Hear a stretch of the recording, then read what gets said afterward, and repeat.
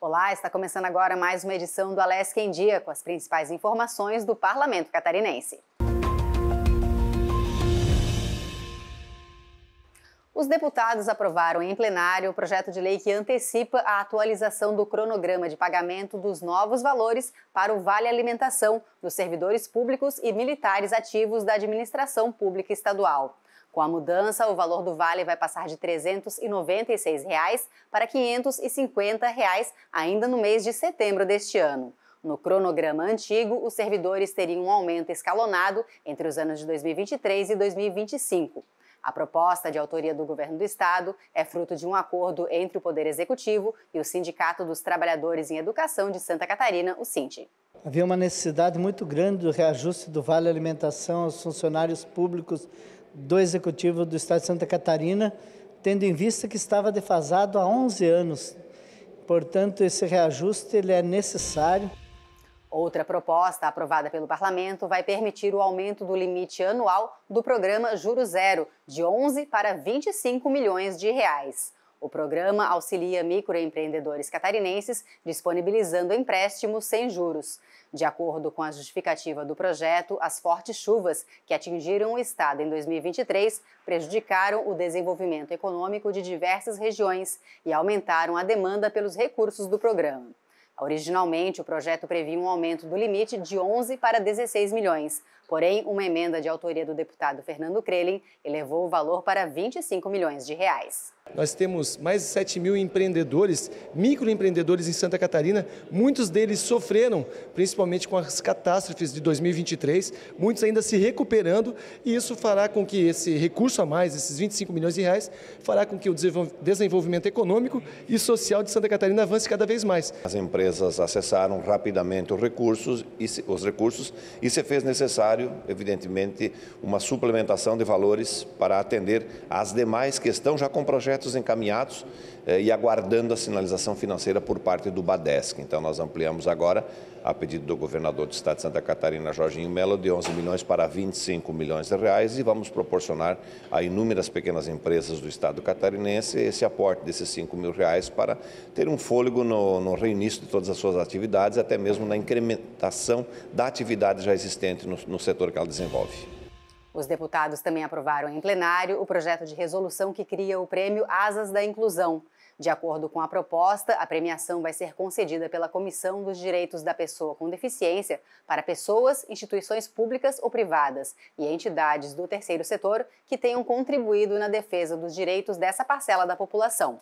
As premiações vão ocorrer a cada dois anos em sessão especial para comemorar o Dia Nacional de Luta das Pessoas com Deficiência. O autor da proposta foi o deputado Dr. Vicente Caro Preso. Um projeto simples que vai fazer com que cada membro da Comissão de Defesa dos Direitos da Pessoa com Deficiência, são sete membros, e o presidente da casa possam indicar uma entidade, uma pessoa jurídica ou então uma pessoa física, uma pessoa que tenha se destacado naquele ano ou em anos anteriores eh, em respeito à causa da inclusão.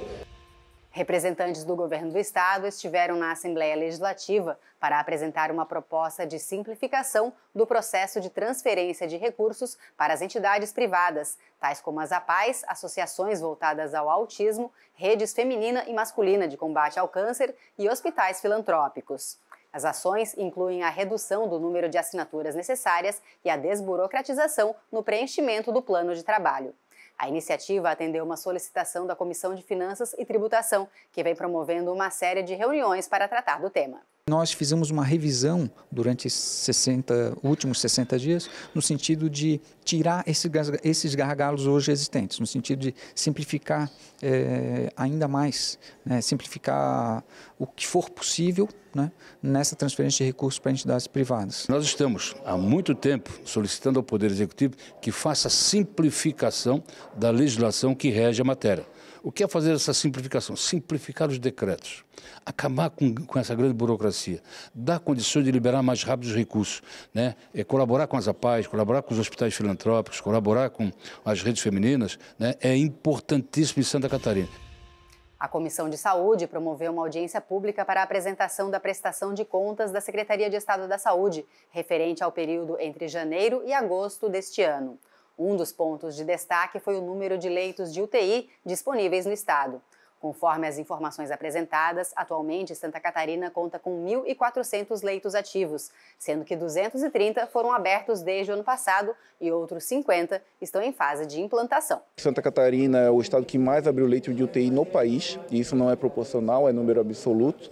Isso influencia diretamente não só a realização de cirurgias, mas eu evitar comprar leito no, no privado, enfim, ter uma sobrecarga da rede em momentos de sazonalidade, como nós passamos recentemente com as síndromes respiratórias agudas. É o momento de nós também verificarmos mais de perto o andamento da questão dos gastos da área da saúde, muito mais que cumprir apenas uma obrigação legal, constitucional de, da prestação de contas, a presença da equipe da Secretaria da Saúde nos permite, especialmente sobre esses aspectos da execução orçamentária, financeira, acompanharmos para estarmos eh, cobrando também as ações mais necessárias, mas também acompanhando a evolução dos investimentos e gastos relacionados à área da saúde.